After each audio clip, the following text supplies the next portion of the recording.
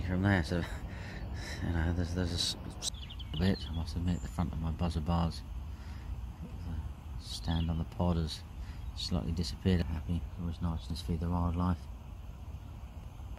Thrush hopping around.